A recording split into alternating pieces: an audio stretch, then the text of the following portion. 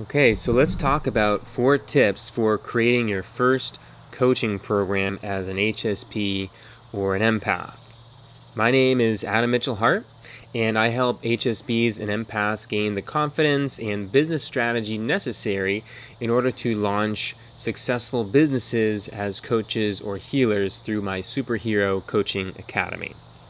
Now, when I started out as a coach, I didn't have a plan for a coaching program. I was winging it, and I was doing these one off sessions with people who wanted to get new jobs with better pay, with better companies, and I was just sort of piecemealing it together. Just, okay, uh, what do you need help with today? Okay, let me see if I can help you. Uh, okay, and I would sort of fumble my way through this process, and maybe I helped them, maybe I didn't. It was really hard to say because it was not an orchestrated uh, process. Now, with the help of a business coach and a lot of trial and error, I've really fine tuned and perfected the art of a cohesive coaching program that's designed to deliver somebody the specific results that they're after, no matter how challenging it may seem. And it's really quite consistent in the outcomes that people receive. So let's dive in so you can save yourself months of wasting time and energy going in the wrong direction. And make sure to stick around to the end where I'll be sharing details about an offer for an exercise to help you choose your niche so you can figure out your target audience that you'd like to serve as a coach.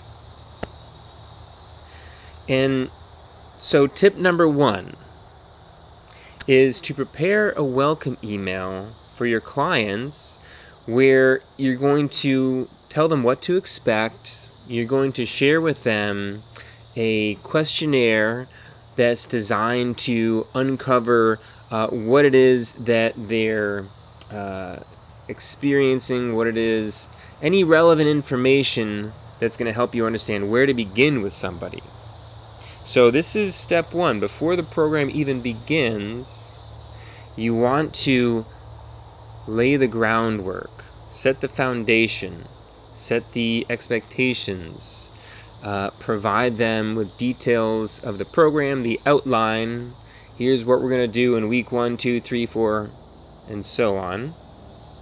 Any additional resources, I like to send suggested reading, like a book relevant to the journey that we're going to go on. I always recommend The Alchemist because my clients, they go on a journey of following their calling and achieving their personal legend, as explained in this book. So it's a handy guide to supplement the work that we're going to do. I also send them details to an online course that's going to include video tutorials and written guidelines on how to become a coach and set up a coaching business and how to coach and deliver results and all the different skills and uh, resources that I'm not gonna, going to want to repeat on every single call. So make sure you share that information with your clients so that come week one, you're going to know exactly where to start and they're not going to feel lost and confused about where they're supposed to be and, and what they spo- need to be learning. Okay, so the second tip is to create a framework. This is super important. Until you have some sort of a game plan or framework in place, you're going to be flying blind and your client's going to feel that. It's not going to build a whole lot of trust and rapport and it's just going to jeopardize the whole experience. So make sure you've clearly outlined the progression. And I would suggest if this is your first program, two months is a good time frame, but really you want to select a time frame that is appropriate for your client's objective. When I was working as a career coach, I offered a one month program if somebody was mostly focused on interview prep for jobs that they were already interviewing for. If somebody wanted to change their career, well, that took a lot more time, so I created a three month program with all the steps in between necessary to get them from point A to point B. my Superhero Coaching Academy fits nicely into a two month program. It isn't so comprehensive that people have to wait three months before they can get started on starting their coaching business. And it's not so simple or basic that once they are, it is time for them to get to work, they're not feeling underprepared. So, determine the length of your program, and then it's quite as simple as baking in one hour calls each week. I suggest doing it, um, setting a standard day and time for consistency. And then you sketch out what you'd like to cover on each call. So I'll give you an example. In my Superhero Academy, there are a number of bases that we need to cover. For an HSP or empath who wants to become a coach, there's the personal development, stepping into their power, there's the business strategy, there's understanding and claiming their gifts, and all the things in between where it needs to really build on itself. So, week one is getting to know them and understanding their talents and abilities. Week two is explaining the basics of creating a business. Week three is stepping into the role of coach. Week four is workshopping your coaching model, kind of like we're doing today. Week five is how to coach. Week six, how to enroll clients. Week seven, implementation of all the things that we've been learning. And week eight, manifestation, how to use the law of attraction to make all of this come together and be successful. So that's just one example of a framework Yours could look very different, but just make sure that you're covering all the, the key topics and subjects that you know are going to be important ingredients to your client's success. I wouldn't want to focus all eight weeks on just personal development for someone who wants to become a coach. Yes, they might be super empowered by the end of it, but if they don't have the business skills and strategy in place, then they're not going to be successful. They're not going to achieve their result. But if I focus only on business strategy for eight weeks, they're not going to have the confidence and belief in themselves and leadership ability to, to be successful.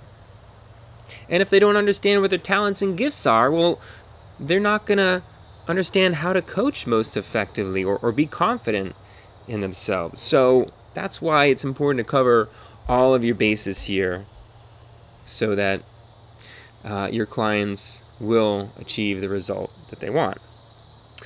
Now, this next tip might surprise you because it directly contradicts the second tip, but really it works alongside with it. And that is to be prepared to ditch the script. At every point along this journey, you really have to be in tune with your client. And this is where being an HSP empath is really going to um, be a major strength and benefit. Because at the start of every call, what you want to do is check in with your client. Ask them, how are they doing? How was this past week for you? How are you feeling? And just get a pulse. If they're feeling good, present, motivated, happy, calm, you've got all green lights to take them through your process because they're going to be focused, they're going to be present, and they're going to have the good energy necessary to to take action that's going to bear fruit. Now, if you're checking in with them and they say, "Well, you know, I had a hard time getting out of bed this morning," or they say something like, "Yeah, I, am just really, really stressed right now. I had had this thing come up yesterday, and I, I don't know what to do." So, obviously, if somebody is going through an emotional upset like that, they're not going to be able to take in your game plan, your information, and it's going to be useless. And whatever actions that they take from this stressed or sad place is not going to be effective because their heart's not in it. This is really important. This is these are the intangibles that are so vital to understand. So it's important to know that unless your client is feeling good, these emotions are cleared and, and they're feeling calm, settled, confident, happy, they don't have to be healed of whatever has been afflicting them, but they do need to, to feel good enough about themselves. And until they do, the work that you're going to do is, is going to fall a little flat. So be prepared to ditch the script to troubleshoot this emotional upset. And guys, sometimes it takes 5, 10, 15 minutes to just hear somebody out and allow someone to just say, Yeah, well, you know, um, my dog died yesterday and, and it was really sad, and I'm just, I'm kind of grieving right now. You hold space for them to share where they're at so they can feel seen and heard and then they can move on instead of having this in the background where they're just like, yep, mm, everything's okay, okay, yeah, let's go through this program, and the whole time they're carrying this burden. You can relieve them of this burden by just checking in. Or if they just they tell you, well, yeah, I'm really stressed out because I, I got fired yesterday and I don't know what I'm going to do for income. If it's something more major, then you, you stop the presses and you focus on that and you say, okay, well, well, let's talk about that. You know, what happened? Okay, and what what's your game plan? What, how are you going to move forward from this? You could spend the entire hour helping them sort through their emotions about job loss and putting an action plan together for getting a new job so that by the end of that call, they're feeling good and then the next call, you can pick up where you left off on your game plan, and they're feeling feeling good about their life because they know what to do. So, really important tip there. And then, lastly, maybe the most important tip this is the secret hidden ingredient that I bake into all of my client engagements. That's my favorite part of it because it's the magic sauce. This is the secret sauce. This is weaving in the law of attraction. Okay? So you have a game plan. You're ditching the script. You're checking in. You're doing the questionnaires. All this clever stuff. Lastly, what you want to do is make sure that they're getting clear on on their ability to achieve their outcome. You have to inspire your clients to believe in themselves and to believe in the outcome that they're after. What I like to say is is to keep your eyes on the prize. This is what I always tell my clients. Keep your eyes on the prize. Okay? In my superhero coaching academy, that prize would be that feeling of being confident as a coach or a healer. Or it could be that feeling of being successful as a coach or a healer. We're painting a picture, starting from that questionnaire from day one, of who it is that they wish to become and what life they wish to experience. And this whole time, I'm reminding them of this, okay?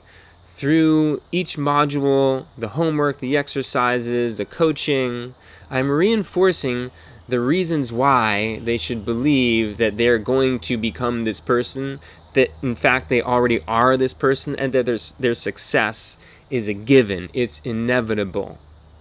Because once they reach this point of inevitability, guys, your job is done. You might be four weeks into an eight month program, excuse me, eight week program. They're going to guide themselves to the finish line. You just get to you know, steer them along the way. But that is the most important part is to get them to believe in themselves and the outcome. Okay. So, now that you're ready to create your first signature coaching program that you can feel confident will deliver the results that you're looking for. And if you like this video, make sure to subscribe to my channel now. And if you'd like to know how to choose your niche, then click on the link in the description for a free exercise that includes five key questions that you'll need to think through before you can get clear on your target audience. Super important. Without this piece in place, you don't have a business. So click on that link and receive your exercise today. And lastly, share with me in the comments which of these four tips you found most helpful or insightful. Okay, guys, that's all for today. Thanks for watching and tune in for more free content on how to get ready to launch a coaching business as an HSP or an empath. Have a great day.